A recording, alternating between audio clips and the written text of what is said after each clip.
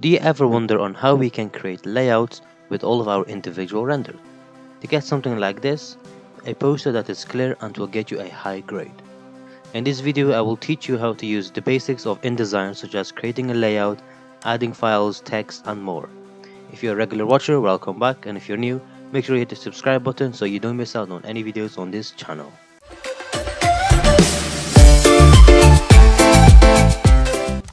First thing you need is to create a new file. Since we're creating a layout, we will use a document.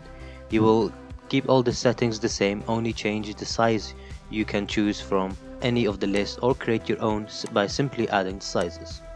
Now to know what you actually need to do, have to create a list. Since I'm doing a site analysis poster, I have listed an analysis topics which I will do diagrams for.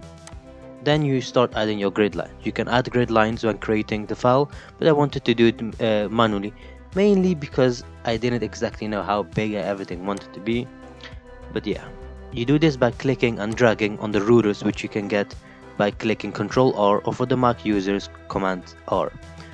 Then you add your boxes. These boxes will determine where my diagrams will go and how big they will be. It's ideal to sketch out the layout beforehand so you don't waste time and know what goes where. This doesn't have to be in great detail, something like this would do.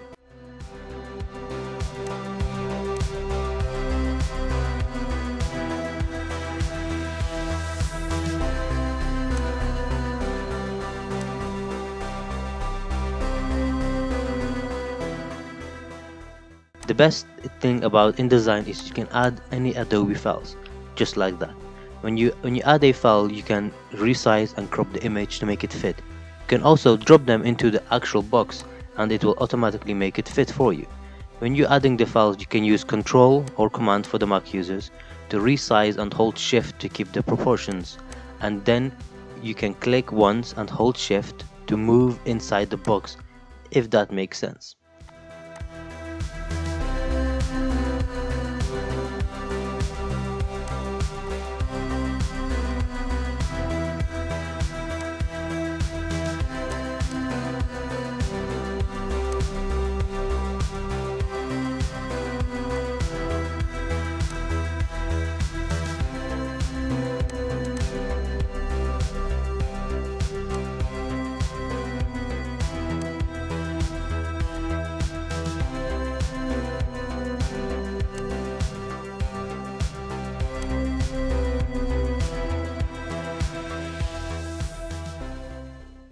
When you have imported a file but it doesn't fit or something is hidden, you can right click and select or edit original which opens whatever file it's made on, so for example Photoshop, and you can change it. And then go back to InDesign and click the little triangle and, it will update. I then just kept going and added all the other files which I showed earlier in the video. These files are low quality so do not panic. If you think something happened, InDesign does this to make it easier for you to use and quicker. You can always uh, change by right clicking and click show as high resolution. This does make it slow so be aware.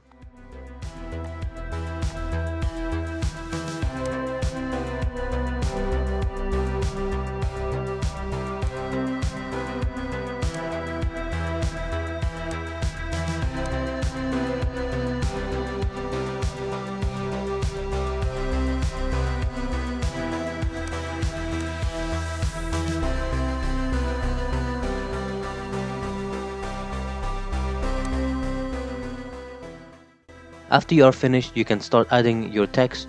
All you do is click T and then write whatever you need.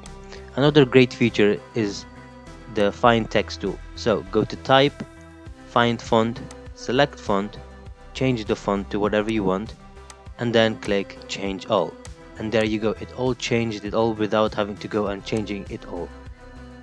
You can always change your view just to see how it would look uh, in presentation by the bottom left tab and click and hold and move to presentation tab.